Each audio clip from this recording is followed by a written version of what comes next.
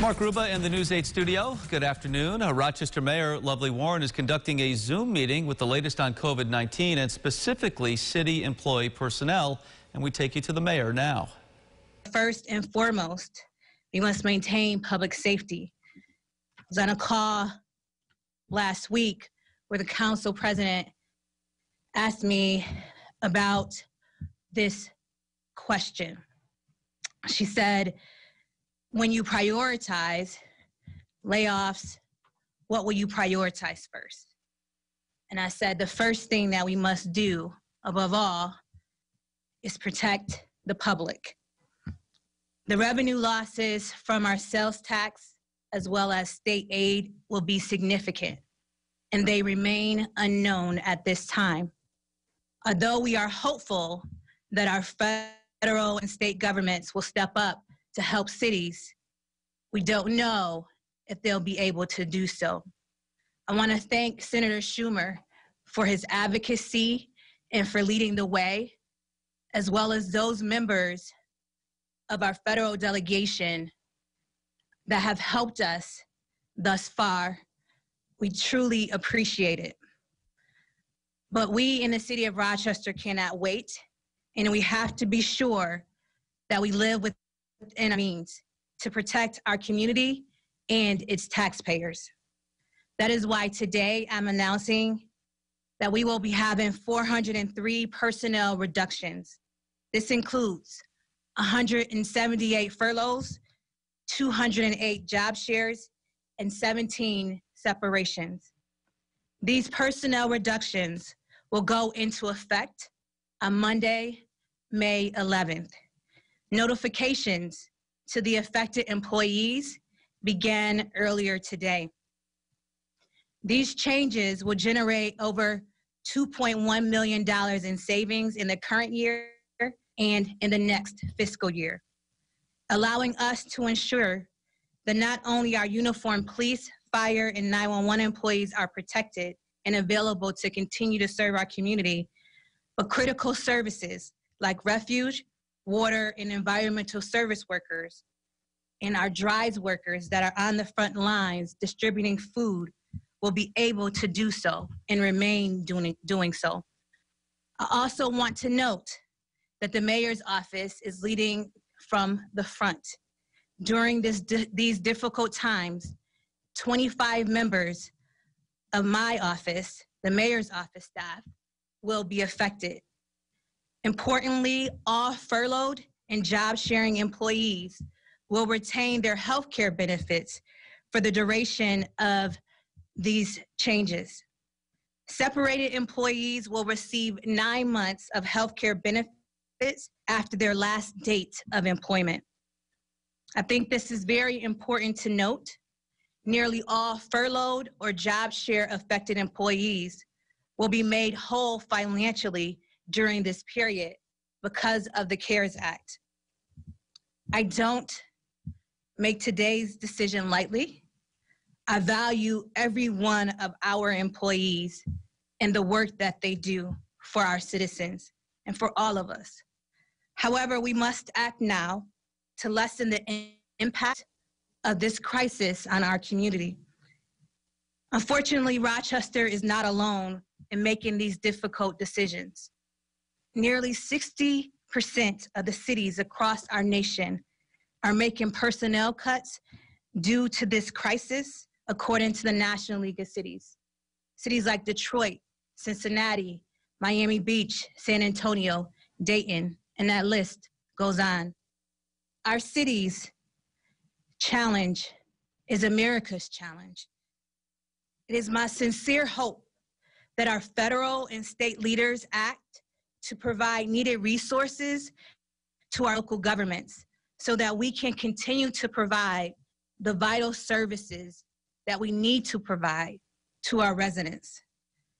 As I said earlier, I am grateful to Senator Schumer, who continues to lead this fight.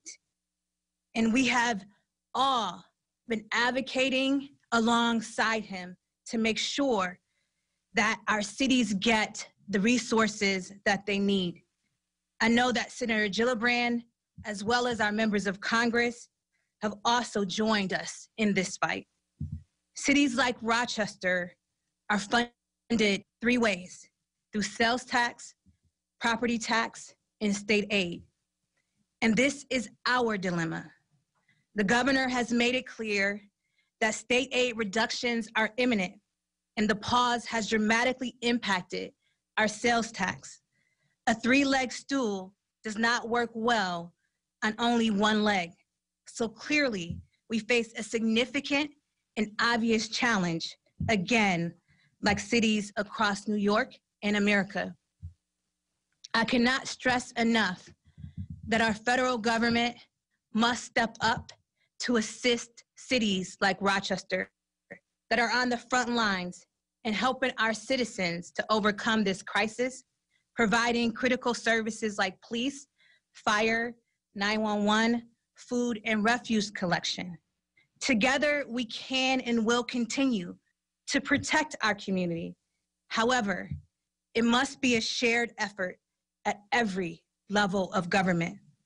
With that, our budget director, Chris Wagner, and our HR director, Tassie Demps, are both on the call as well, and we are available to answer any questions that you may have. Thank you, and God bless. Thank you, Mayor. First question is going to come from Raven Brown at Channel 10. Raven? Hello. Hey, how difficult was this decision for you and your office um, to have to notify these families? It was very difficult because one of the things that we don't know is when it's going to end. And so, of course, our employees that are being furloughed and those that are working under job share um, want to make sure that they will continue to remain in city employment during this time. And they asked the question of when will it end, and we can't tell them that at this point in time. And so for us, it's very hard because we know we have to continue to provide the essential services to the residents of the city of Rochester, but we must do so in a fiscally sound way. And this is the best way that we know how to do it. And my follow up um, so, why is it, you know, just so important for people to understand that while this is hard, this needs to go to the, this is important for essential services, like you said? Um, it is important for essential services because, you know, 911, um, they're answering the phone calls of residents. Um, you know that when a resident calls, they want to make sure that a police officer or a firefighter shows up. We've had uh, last week and the last two weeks, we had a number of fires. As you know, we are tracking our crime numbers here in the city as well. Um, and when people put out the refuge, they want to make sure that someone is coming to pick up their trash. And this was a way for us to continue to allow our employees to remain whole because of the CARES Act. When those furlough workers go on unemployment or those work share workers go on unemployment, they will um, be basically, or in some cases, receive more dollars um, than um, when they were working. And so this was a way to allow our, our employees to remain whole, but also to help lessen the blow to the city's overall budget and allow us to continue to provide for essential services like police and fire. Thank you. Our next question will come from Atia Collins at Channel 8. Atia? Um, hi, Mayor Warren. Thank you. I wanted to talk about how beneficial it is for these employees to be um, let go now and how they're still able to access benefits such as employment and health insurance, like you mentioned. So, so we made a decision to uh, do this now because the CARES Act runs all the way to July 29th, and for them to be able to take um, advantage of that as many weeks um, as possible, um, so they could be made whole during this time. Um, additionally, continuing to make sure that they are covered under healthcare was very important for us because we do also know that there's a pandemic going on. And if them or their families need to access the healthcare system, we don't want them to have to worry about the healthcare bill bill during this process. And then just a brief follow up. You talked about how your uh, mayor's staff will also receive some reductions. Did you look at making cuts anywhere else besides city personnel? I, I don't understand the question. Was there any oth- was there any conversation about um, finding savings in any other departments besides cutting um, workers or city personnel? Um, our employees are our highest cost, and um, this was a way to allow for our employees to be made whole during this process while um, going either on job share or being furloughed. Um, so this was, according to our budget director and um, our HR director, the best way for us to move forward to continue to be able to apply uh, to uh, keep those essential services going for our 911 police officers, firefighters, and of course our DES workers and DRYS workers. Mayor, this is Chris. I'd I'd like to just follow up and add to that. Um, This is, you know, the best course of action now, but, you know, the mayor, you know, acted early on here back in April. Uh, We locked down some discretionary spending across the board in other departments, to the tune of about $14 million. So that action had already been taken. Uh, The actions we're taking today uh, are additional actions above and beyond that, as the mayor said, to help protect the city finances.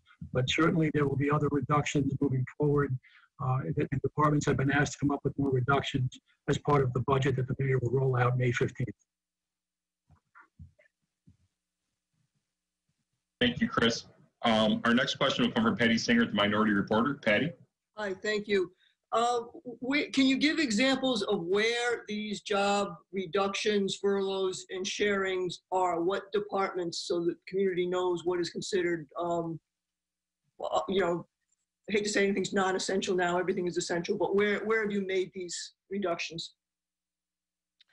Um, I will turn that over to our HR director, Tassie Demps, to talk about exactly which departments. But early on, we um, were we went through a list of what was uh, what we considered to be essential employees versus non-essential employees. We had to do that to comply with some of the federal and state regulations that were coming down.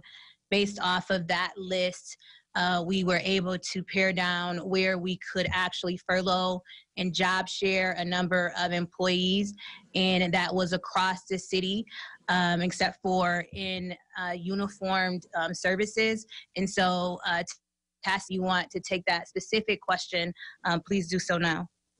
So for our shared work program, as the mayor identified, we use the process of working with our departments, directors, and commissioners to identify for shared work specifically. It ranged from uh, administration through Department of Environmental Services, Department of Recreation and Youth Services, our library, our um, civilian, and um, Rochester Police Department. For furlough personnel, again, also working with the departments, we identified across those same um, those same departments. Just would add a couple that would be our information technology and our neighborhood and business development. So this, as the mayor identified, was a process where we worked with those department leaders to identify um, the best uh, approach in looking at furlough personnel as well as looking at the shared work opportunity. Um, I've sort of got a two for a follow-up. So there were some positions eliminated. Where would those have been? And also, at what point do we get to where you have to go into public safety, where you have to go into refuge collection, things that really are the safety and the quality, true quality of life in the city? So At the, this point, uh, go ahead, Tassie. so the positions that we looked at for separation were in the areas of um, direct recreation and youth services, finance, Department of Environmental Services, and civilian personnel in the Department of, um, in our Rochester Police Department. not non-uniformed uh, personnel. Um, to answer your question more specifically, um, Patty, um, at this point in time, as we prepare our budget uh, for next year, as many people uh, know on this call, the city's budget cycle is from July 1st to June 30th. And so on May 15th, I will be presenting our budget to City Council and they will be going through the process of reviewing. Um, right now, we're trying to preserve as many of our uniformed uh, police fire and 911 and DES workers, essential service workers um, currently. And the reason why we're doing this is because it can and it will help us in our next year's budget uh, to be able to continue to provide those services. Uh, right now, we do not anticipate that there will be mass reductions in those departments, but our budget, of course, is changing uh, daily as we get updates. And we will hopefully have uh, some final numbers uh, available. Well, we definitely will have final numbers available for City Council by May 15th when we have to present to them a balanced budget. Thank you. Our next question will come from Alex Crichton at WXXI. Alex? Oh, there we go. Okay. Hi, Mayor. Um, just wondering about, you know, the cuts, 25 cuts in your, your staff. How will that impact your ability to govern or lead the city going forward? So um, we have one separation, and we have 25, uh, uh, 24 members that are going on to uh, job share.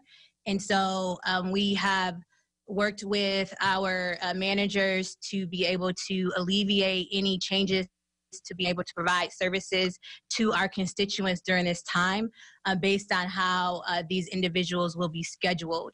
Um, we believe that we will continue to be able to provide exceptional service with the job share program. Um, and then the one separation um, is something that, you know, we had to, of course, do uh, to work with of, across the board our departments. Um, I can't ask our departments and our businesses to make uh, the sacrifices that we were also not willing to make in the mayor's office. This is a shared um, problem that uh, was made across the board, and we're going to continue to look for, as our budget director indicated, efficiencies um, that we can make besides um, cutting or um, furloughing employees. Uh, we did that early on um, over when this first started a month ago. Uh, that was able to yield us about $14 million that we will be um, looking for pushing into the next budget. But of course, we still have our challenges that are facing us. And as I indicated in my remarks, the three-legged stool, meaning sales tax, as well as, uh, you know, AIM aid, uh, we don't know what will be receiving, and we know that they will all be significantly impacted. I also want to note that we are still under state mandate to provide $119.1 million to our school district. And so um, that is a, a state mandate that we have to comply with, and we will comply with in the next budget year. Alex, do you have a follow-up? Unmuting is difficult. Uh, no, I do not have one. Thank you. Okay, with, um, with that, we'll go to 13 WHAM News. Um, or somebody from 13, please. Thank you. Hi, good afternoon, Mayor. Um, my question is um, obviously, you mentioned um, already a few of the departments where you guys have already cut. Um, is I guess the big question is, you know, is this it? Are you guys expecting to make more cuts down the line since we don't know how long this is going to last? Are we expected to are you guys anticipating more cuts could be made in the upcoming months in those same departments? Um, in all transparency, I, I don't know. And I don't know because we don't know if we are going to get relief from our federal government. We don't know um, if the governor, um, and through his leadership and advocacy, will be able to, to maintain uh, the AIM aid that he is providing to cities. So we are doing this now to lessen the blow coming uh, in the next budget year. As I said, uh, it's different for uh, cities, uh, the big five cities, because of our budget year, uh, which uh, starts July 1, and we will present our budget on May 15th. Um, we will continue to evaluate as we go forward, but our number one um, concern is to make sure that we continue to provide public safety to our residents And that is going to be what is at the forefront of our minds as we go through these tough fiscal challenges and as we evaluate what's yet to come. Do we have a follow-up from Channel 13? Uh, no follow up. Thank you so much. All right, our next question will come from John at Spectrum, Spectrum News.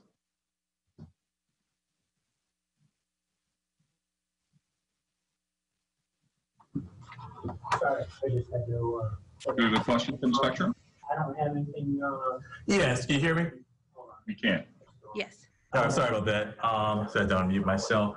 Um, just good afternoon, Mayor. What are some of the additional things that you're doing to help um, the individuals that were furloughed or laid off? Are there any additional things you guys are doing or support you're giving them? So our HR department, of course, will be working with them to apply for, uh, to show them and get the information for applying for unemployment. And we will continue to make sure that uh, they continue to receive their health care benefits. And for those that will be separated, they will receive, um, you know, uh, health care benefits uh, for up to nine months. Um, and we will continue to make sure that um, we are there to support them during this time of, of change. Um, our hope is that, of course, we know that they will be made whole given the fact that the CARES Act was able to provide uh, additional $600 on top of what the state provides in um, unemployment benefits. And so um, as we move forward, we'll continue to evaluate and we will continue to advocate for additional resources uh, for our our not just our employees but for our citizens when it comes down to this issue um, revenue and uh, the the hit to revenue for our community is significant and we need to make sure that we um, evaluate what's happening going forward as it pertains to our budget. And i know that our budget director is is doing that on a daily basis and that's why different changes are continuing to come down. But as we move forward we'll make sure that our employees are our number one eh, you know an essential um, our, our number one we we don't want to have to do this and um, we don't have a choice at this point in time um, it's something that we have to do but we're going to be there for them and we're going to make sure that they have health care during this time All right, thank you. I don't have any follow-up questions. Thank you. Our next question will come from Gino at the City Newspaper. Gino? Hi, how you doing? Uh, so this is 403 uh, workers that are going to be impacted by this. Do you know what percentage that is of the city's entire employment? How many employees the city actually totally employs? Uh, we have about 3,000 employees. That's including our uniform, fire, police, and 911 employees. Um, Tassie, do you have a specific number?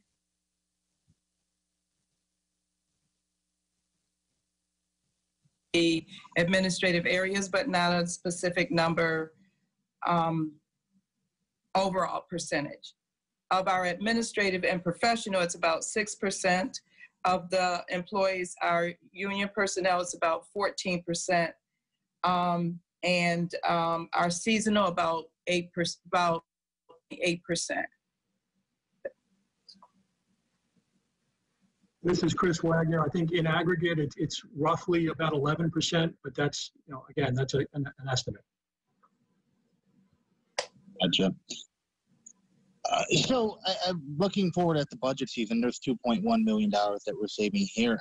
Do you think that's enough? I need to. I know there's a lot of uncertainty right now where the funding's coming from, what it's going to look like. But do you think it's enough to fill in the gap? I guess. I'll start and then I'll turn it over to our budget director. As as he indicated earlier, we have done a lot um, when this first started to secure and to uh, maintain uh, and, and hold on to cash. Um, we've stopped a lot of discretionary spending. Actually, we stopped all discretionary spending and really have done everything that we can to tighten our belts. That has saved us about $14 million. Uh, this on top of that will be, uh, you know, a additional 2.1 million. And Chris, if you want to go into more specifics, I can tell you that um, you'll see in in the budget presentation in the upcoming uh, next week on uh, May uh, 15th uh, to City Council, you'll see uh, the detailed changes um, in the next year fiscal year. But Chris? Sure, Mayor, thanks. Um, yeah, so as the mayor mentioned, the timing of this is, is challenging for a couple of reasons. You know, in, in how our fiscal year works, um, it's going to impact our revenues in the fourth quarter of the current year that we're in as well as have an effect on next year's budget. And, and again, a lot of those effects are, you know, at this point unknown. You know, we, we, we know the train's coming, but we don't know exactly how long the train is. Um, and so, you know, what we've done here, in addition to locking down discretionary spending, is uh, about $14 million. We've got a hiring freeze in place for, you know, all non-essential personnel. Uh, and, uh, and we're doing the, the furloughs and, and the other personnel moves today that the mayor has announced. Um, and, and so, you know, we're taking advantage of the aid that um, the, you know, federal and state governments are giving to us. Um, and as the mayor mentioned, these employees, you know, will be, you know, made, made whole or even, you know, be slightly better off than what they're making uh, when they're working for the city during this, you know, period of, of extended benefits. Um, so, you know, we again, we've taken, you know, the, we've locked down discretionary spending. We've got a hiring freeze in place. Uh, the mayor, you know, rolled out the capital program, uh, you know, earlier, or actually into last week, uh, and and that showed, you know, what we were doing in terms of, you know, reductions to cash capital, uh, and and shifting strategy there from you know cash to debt to provide some more flexibility to be able to continue with essential projects uh, as, as, a way to address some of the shortfall next year. Uh, and you know more details around you know the mayor's budget proposal for next year will follow on the 15th. But Mm-hmm. those are the, the strategies that, you know, the mayor you know, has undertaken here to kind of preserve essential services and, and, and provide as much flexibility as we can to deal with what is a dynamic situation. Gotcha. Thank you. Our last set of questions will come from Will Cleveland at the D&C. Will? Am I unmuted? Can you guys hear me? We can. Yes. Perfect. Thank you. I'm uh, getting getting fast forwarded in my Zoom training because I'm I'm filling in for Brian Sharp, who's on furlough this week.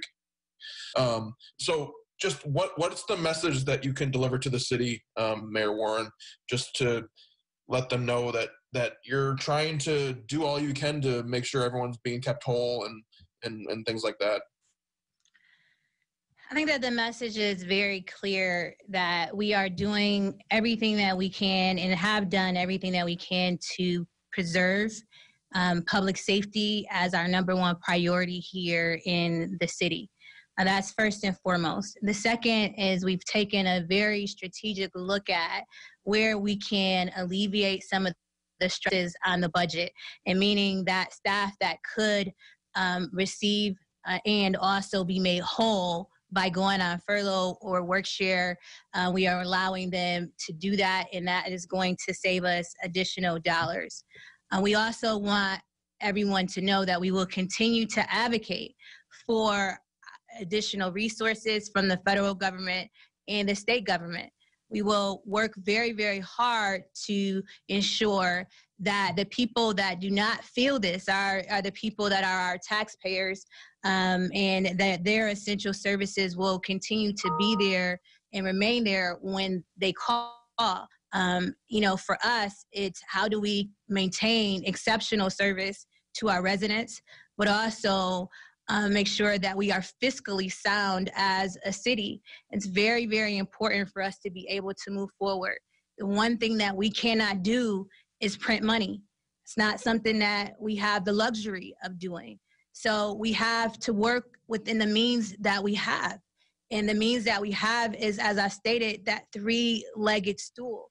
It's our property tax, our sales tax, as well as the revenue that we receive from our state.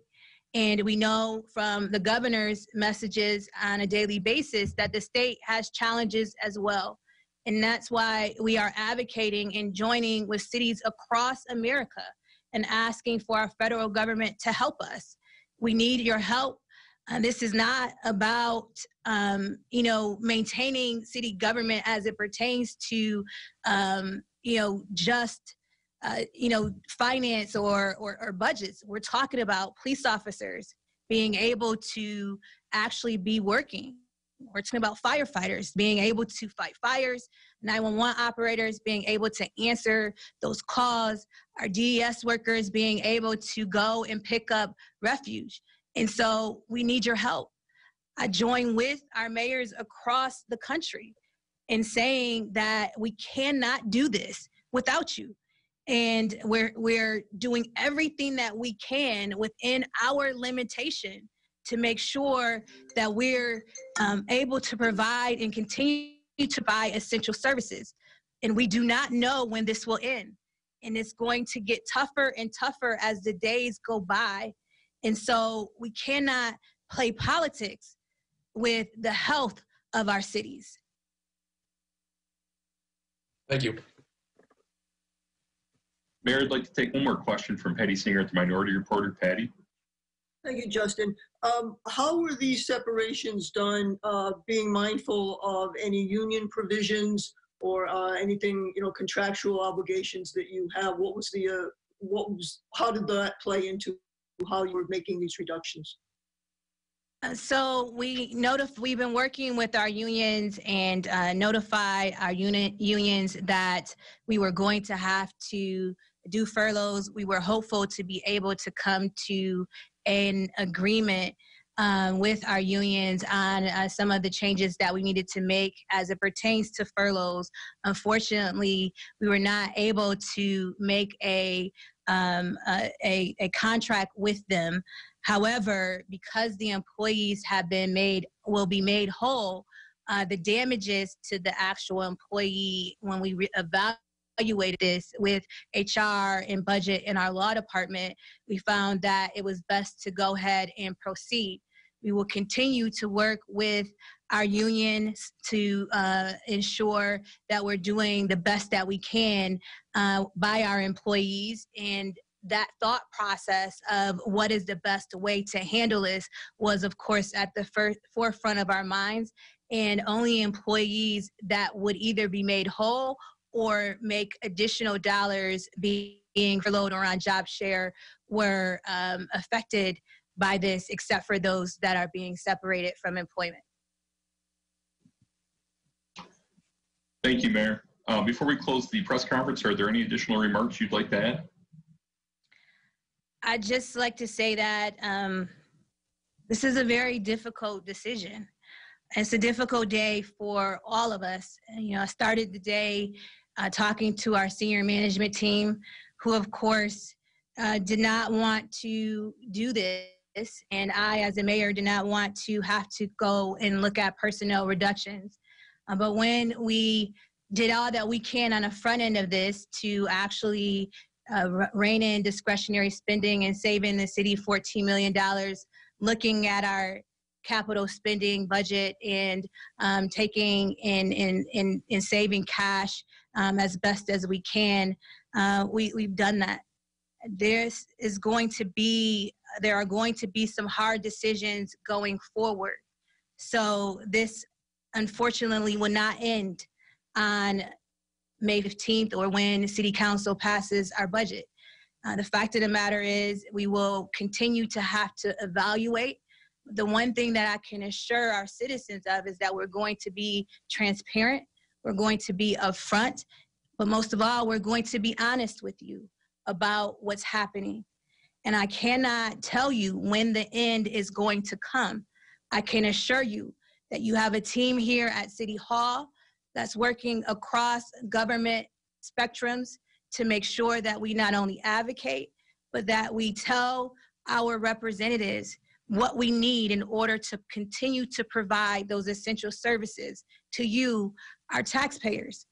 We ask you to continue to listen to our health officials when it comes down to social distancing and protecting our circle. Everybody has a role to play in this. And I cannot stress it enough that the role that we must play is to continue to protect our circle and to stop the spread of this virus to others. The sooner that we can do that, the better it will be for everyone across the board.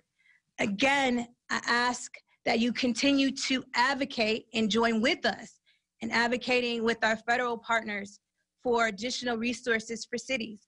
What Rochester faced, every city across this nation is facing. As I said, 60% of cities have already taken these steps.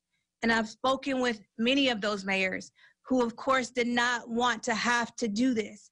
But we are in a situation where we're having to make choices, hard choices, in order to keep our governments going. Public safety is our number one concern. I can assure you that that will be the last thing that we look at when it comes down to making sure that our uh, em- our employees and our citizens are taken care of in cutting their budgets at this point in time. But I and want to be very, very clear with you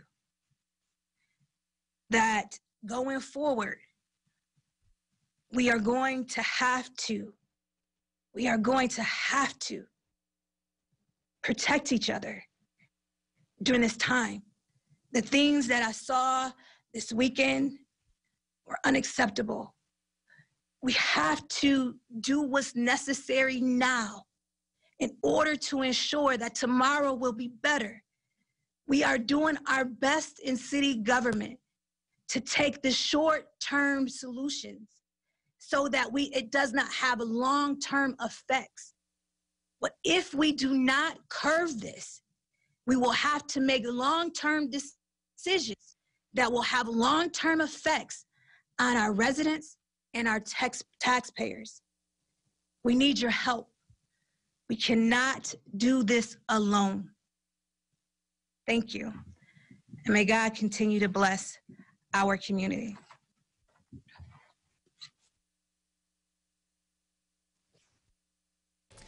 Rochester Mayor Lovely Warren concluding her media briefing for the latest on COVID 19. Head to our website, rochesterfirst.com, and follow us on Facebook and Twitter as well.